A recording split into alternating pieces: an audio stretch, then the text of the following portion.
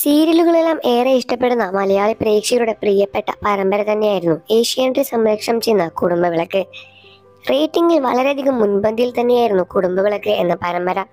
എന്നാൽ ഇപ്പോൾ കുടുംബവിളക്കിൽ സംഭവിച്ചുകൊണ്ടിരിക്കുന്ന കഥാകൃത്തിക്ക് ഏറെ വിമർശനങ്ങളാണ് നേരിടേണ്ടി വരുന്നത്. ഒരു കാലത്ത് റേറ്റിംഗിലെല്ലാം തന്നെ വളരെയധികം മുൻപന്തിയിൽ നിന്നിരുന്ന കുടുംബവിളക്ക് എന്ന പരമ്പര ഇപ്പോൾ റേറ്റിംഗിൽ തന്നെ പിന്നോട്ടം പോയിക്കൊണ്ടിരിക്കുകയാണ്. കാരണം മറ്റൊന്നുമല്ല അതിന്റെ കഥ തന്നെയാണ്.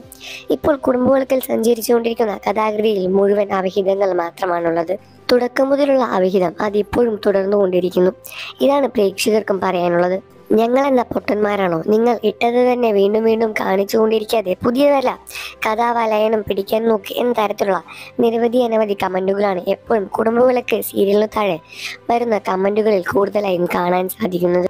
കുടുംബവിളക്കിലെ നായകനായിരുന്ന സിദ്ധാർത്ഥനായിരുന്നു ആദ്യ അവിഹിതം ഭാര്യയും മൂന്ന് മക്കളെയും വേണ്ട വെച്ച് ഓഫീസിലെ കൂട്ടുകാരിയായ വിവാഹം കഴിക്കുകയും ചെയ്തു.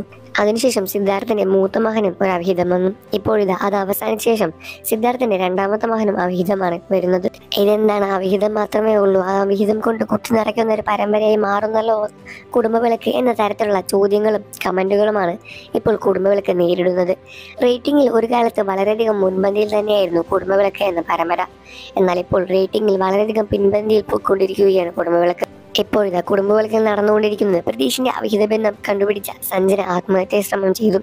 ഇപ്പോൾ വളരെയധികം ക്രിക്കറ്റ് ക്രിട്ടിക്കലായി ആശുപത്രിയിലാണ്. അതുമാത്രമല്ല കേസ് പിൻവലിക്കണം എന്ന് സുമിത്രയുടെ അടുത്ത് ചെന്ന സിദ്ധാർത്ഥിനെ വളരെയധികം നാണം കെടുത്തി സുമിത്ര തിരിച്ചയക്കുന്നുണ്ട്. ഇതെല്ലാം ഓർത്ത് കാർ ഓടിച്ചു വരുന്ന സിദ്ധാർത്ഥന് ഒരു വലിയൊരു ആക്സിഡന്റ് തന്നെയാണ് സംഭവിക്കുന്നത്. ഈ ഒരു ആക്സിഡന്റോടുകൂടി സിദ്ധാർത്ഥന്റെ മരണമാണ് എന്നാണ് പ്രേക്ഷകർ എല്ലാവരും തന്നെ അഭിപ്രായപ്പെടുന്നത്. സിദ്ധാർത്ഥനെ വെറുക്കുന്നവരാണ് ആരാധകരിൽ കൂടുതൽ പേരും. കാരണം അത്രത്തോളം നെഗറ്റീവായ കഥാപാത്രം തന്നെയാണ് സിദ്ധാർത്ഥ് ഇതിൽ അവതരിപ്പിക്കുന്നത്. അതും അതുകൊണ്ട് തന്നെ സിദ്ധാർത്ഥ മരിക്കണം പരമ്പരയിൽ എന്ന് തന്നെയാണ് എല്ലാവരും ഒരുപോലെ അഭിപ്രായപ്പെടുന്നത്.